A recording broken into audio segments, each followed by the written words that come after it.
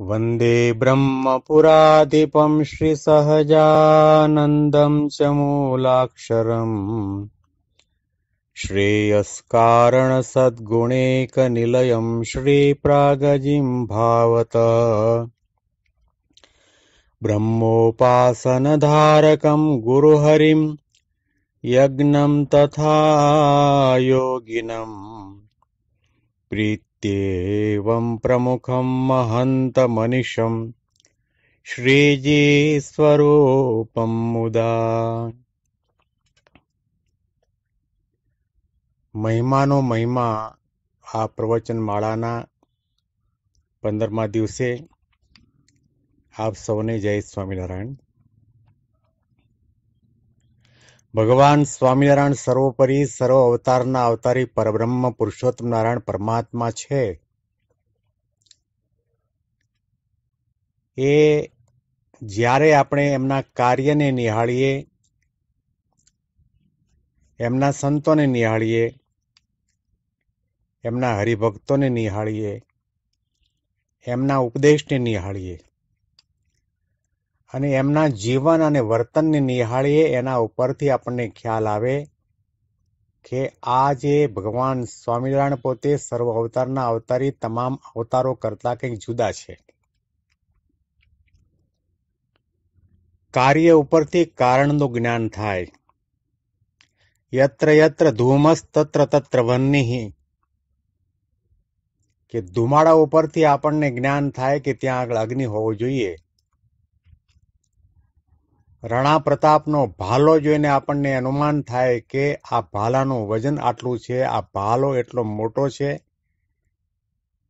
તો એનો ઉપાડવાવાળો કે આટલા મોટા વજનવાળો ભાલો ઉપાડીને સેંકડો સૈનિકોની સામે જજુમવાની શક્તિ એ રાણા પ્રતાપની પાસે કેટલી હશે? એવી રીતે ભગવાન સ્વામિનારાયણના ઘણા પ્રકારના કાર્યો, સંતો, હરિભક્તો, ઉપદેશ, વર્તન, ચારિત્ર એના ઉપરથી આપણને ખ્યાલ આવે. કે શ્રીજી મહારાજ પોતે સર્વોપરી સર્વ અવતારના અવતારી છે. એમનું વન વિચરણ જુઓ. બાળાવસ્થાની અંદર જે ચરિત્રો કર્યા એના ઉપરથી પણ ખ્યાલ આવે. માતા પિતાને જે ઉપદેશ આપ્યો, પોતાના બાળકોને જે ઉપદેશ આપ્યો, બાળ મિત્રોને ઉપદેશ આપ્યો, અને કાશીની અંદર વિદ્વાનોની સભા જીતી, એક નાની ઉંમરના બાળકે મહાન વિદ્વાનોની સામે શાસ્ત્ર ચર્ચા તત્વ ચર્ચા કરી અને વિશિષ્ટાદ્વૈત મતનું પ્રતિપાદન કર્યું અને દિગ્વિજય કર્યો. ખુલ્લા પગે સાત વર્ષ સુધી પૂરા ભારતનું વન વિચરણ કર્યું છે. ઘણા બધા લાખો યોગીઓને મળ્યા, સંન્યાસીઓને મળ્યા, સંતોને મળ્યા, મહામંડલેશ્વરોને મળ્યા, તપસ્વીઓને મળ્યા, રાજા મહારાજાઓને મળ્યા. પરંતુ કોઈ જગ્યાએ પોતે રોકાયા નથી. ઘણું બધું ઘણું બધું મળતું હતું છતાં પણ એને સ્વીકાર્યું નથી. કોઈ પદાર્થની અંદર, કોઈ સ્ત્રીની અંદર, કોઈ રાજ્યની અંદર, કોઈ સત્તાની અંદર. લેશ માત્ર લોભાયા નથી. ગો દોહન માત્ર કોઈ જગ્યાએ રહ્યા નથી. નવલખા પર્વતની અંદર નવ લાખ યોગીઓને નવ લાખ સ્વરૂપે ભગવાન સ્વામિનારાયણ દર્શન આપ્યા છે. આ બધા કાર્યો ઉપરથી, આ વિચરણ ઉપરથી આપણને ખ્યાલ આવે કે મહારાજ પોતે સર્વોપરી છે. મહારાજ આટલું લાંબુ પોળું વિચરણ કરતા કરતા ગુજરાતની અંદર, લોજની અંદર પધાર્યા. જ્યાં જ્યાં વિચરણની અંદર ગયા, ત્યાં ત્યાં એમણે જેટલા જેટલા મહાજ્ઞાનીઓ મળે એમની આગળ એક જ પ્રકારનો પ્રશ્ન મૂક્યો હતો કે જીવ, ઈશ્વર, માયા, બ્રહ્મ અને પરબ્રહ્મ આ પાંચ અનાદિના ભેદ છે એના સ્વરૂપ સમજાવો. પરંતુ લોજની અંદર કંઈક અંશે જવાબ મળ્યો ત્યાં રોકાયા. રામાનંદ સ્વામીના દર્શન માટેની તાલાવેલી હતી. અને ભુજની અંદર રામાનંદ સ્વામી બિરાજમાન હતા તે વખતે લાલજી સુથાર ત્યાં આગળ ગયા. રામાનંદ સ્વામીએ કહ્યું કે, એ સરજુદાસ નીલકંઠવર્ણી લોજની અંદર છે, એના દર્શન મૂકીને તમે અહીંયા કેમ આવ્યા? લાલજી સુથાર એટલે નિષ્કુળાનંદ સ્વામી. લાલજી સુથારે કહ્યું કે એવા તે કોણ મોટા છે? કે તમારા દર્શન મૂકીને હું એના દર્શન કરવા માટે ત્યાં લોજની અંદર જાઓ લાલજીએ રામાનંદ સ્વામીને પોતાના ગુરુ તરીકે માનેલા અને રામાનંદ સ્વામીના ગુરુ ગુરુભાવની અંદર લાલજી સુથારની એવી પ્રકારની દ્રઢતા અને નિષ્ઠા, અડગ નિષ્ઠા હતી કે કોઈ પણ વ્યક્તિ દુનિયાની પોતાની હથેળીની અંદર ભગવાનના દર્શન કરાવે તો પણ મને રામાનંદ સ્વામી સિવાય બીજી ક્યાંય પ્રતીતિ ન આવે?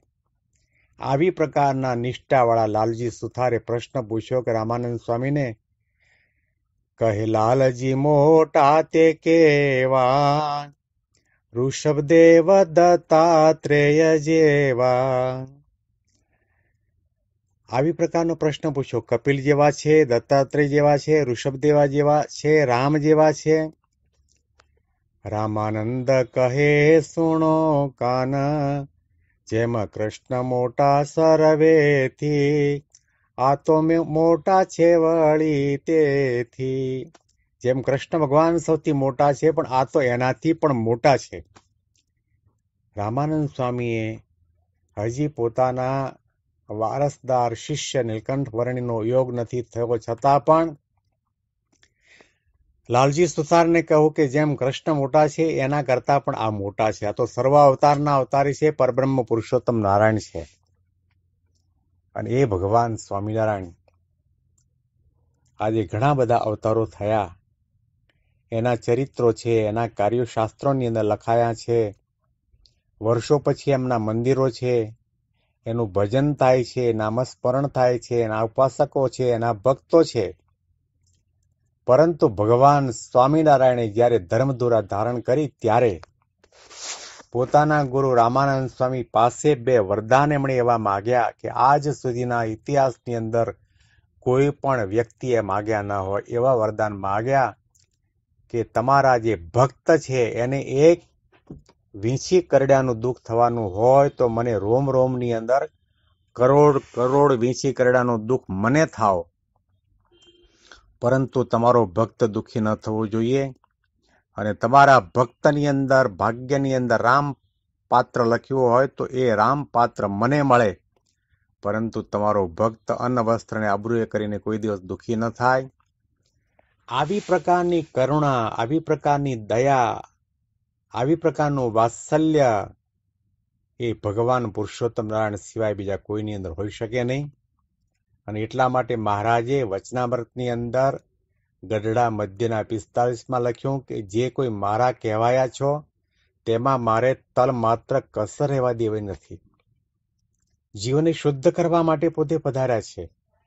ગઈકાલે પણ વાત કરી હતી કે, દૂસરા જો અવતાર હે, વો કાર્ય કારણ અવતાર હે ઓર મેરા જો અવતાર હે ये अनादि अज्ञान के नाश के वास्ते हुआ है મારા કહેવાયા છો કેટલી કરુણા છે કેટલી દયા છે હજી આપણે થયા નથી પણ આપણે સ્વામિનારાયણના છીએ એવું આપણે કહેવડાવીએ છીએ એવી પ્રકારની માન્યતાવાળા ભક્તોનું પણ ભગવાન દયાએ કરીને કલ્યાણ કરવા ઈચ્છે છે કે મારા કહેવાયા છો એમાં મારે તલ માત્ર કસર રહેવા દેવી નથી અને શુદ્ધ કરીને તપ કરાવીને, રોગ મૂકીને, યોગે કરીને, ગમે તેમ કરીને પણ શુદ્ધ કરીને મારે અક્ષરધામની અંદર લઈ જવા છે. એના માટે મહારાજ પોતે પધાર્યા છે. આ એમનું સર્વોપરી કાર્ય છે. શ્રીજી મહારાજે જે મંદિરો કર્યા, એ સમયનો ગુજરાતનો ઇતિહાસ આપણે તપાસીએ, ત્યાર પછી આપણને ખ્યાલ આવે કે ગુજરાતમાં તે વખતે કેવી આંધાધૂંધી હતી. એ આધ્યાત્મિક ક્ષેત્રમાં ગણો સામાજિક ક્ષેત્રમાં ગણો, રાજકીય ક્ષેત્રમાં ગણો, અને લોકોના માનસના સામ્રાજ્ય ઉપર ગણો, અને સાધુ સંતોના સમુદાયની વચ્ચેનું ગણો. એટલી આંધાધૂંધી હતી. એ આંધાધૂંધીની અંદર શ્રીજી મહારાજે માત્ર ત્રીસ વર્ષના ટૂંકા ગાળાની અંદર છ ગગનચુંબી મંદિરો બનાવ્યા છે. એ સમયની અંદર કપરી પરિસ્થિતિ હતી. સમાજનો સાધુ સંતોનો, વિરોધીઓનો, મતપંથીઓનો ઘણો મોટો વિરોધ હતો. છતાં પણ એની વચ્ચે મહારાજે એવું પ્રકારનું ઐશ્વર્ય, પ્રતાપ બતાવીને, સાધુ બનાવીને, હરિભક્તો બનાવીને, ગગનચુંબી છ મંદિરો બનાવ્યા અને લગભગ બે હજાર જેટલા સાધુ બનાવ્યા. અને આપણે જાણીએ છીએ, કાલવાણીની અંદર શ્રીજી મહારાજે એક જ રાતની અંદર પાંચસો પરમહંસો બનાવ્યા.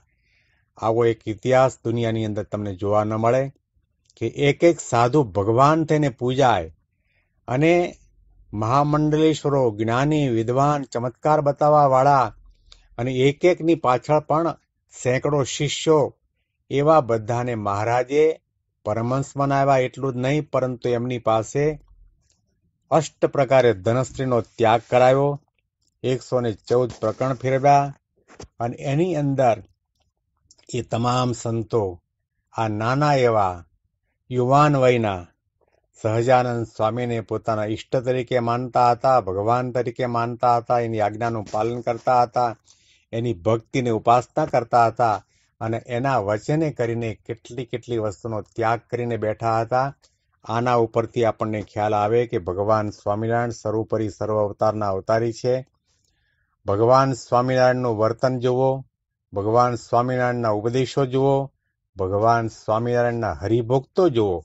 એક એક હરિભક્તની અંદર એ ચારિત્રની શુદ્ધિ, નિયમની શુદ્ધિ, ધર્મની શુદ્ધિ, ઉપાસનાની શુદ્ધિ. મહારાજ, કેટલું અદ્ભુત કાર્ય કર્યું છે. લોજની અંદર આવતાની સાથે એમણે પોતે ધર્મની અંદર જે છિદ્રો હતા એ પૂર્યા છે. આપણે જાણીએ છીએ રામાનંદ સ્વામીના આશ્રમની બાજુમાં એક મકાન હતું. અને બે મકાન વચ્ચે, આશ્રમ અને મકાન વચ્ચે દિવાલ હતી. દિવાલની અંદર એક બાકોરો હતો.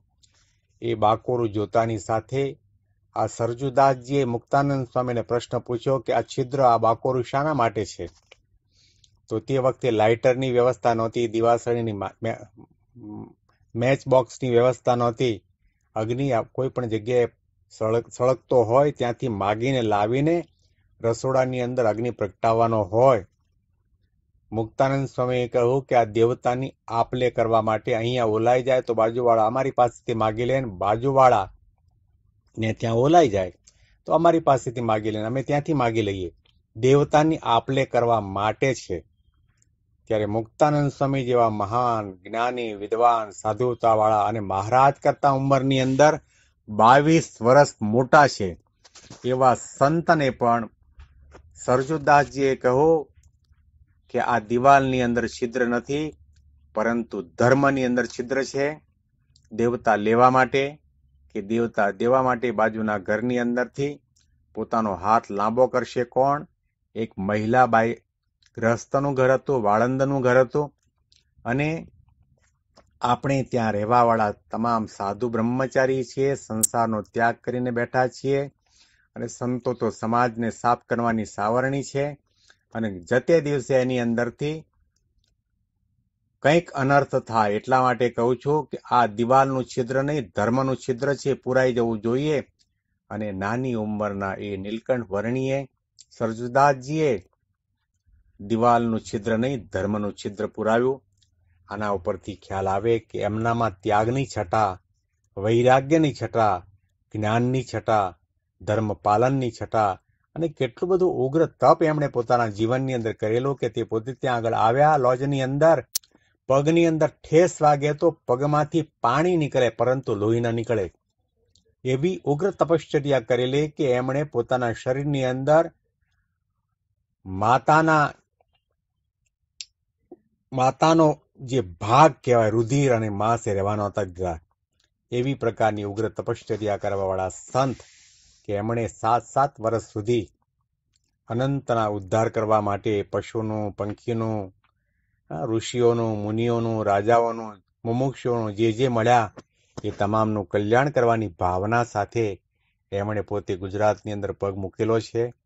એ ભગવાન સ્વામિનારાયણ આપણા ઈષ્ટદેવ છે, આપણા ઉપાસ્ય દેવ છે. તો આપણે જ્યાં સુધી એ ભગવાન સ્વામિનારાયણના મહિમાનો વિચાર નહીં કરીએ મહિમાની દ્રઢતા નહીં કરીએ, નિષ્ઠાની દ્રઢતા નહીં કરીએ, ત્યાં સુધી આપણાની અંદર ગૌરવ પ્રાપ્ત નહીં થાય, આપણને એનો આનંદ આવશે નહીં અને આપણું મન પંચ વિષયોમાંથી પાછું હટશે નહીં. એટલા માટે મહારાજ સર્વોપરી સર્વ અવતારના અવતારી છે.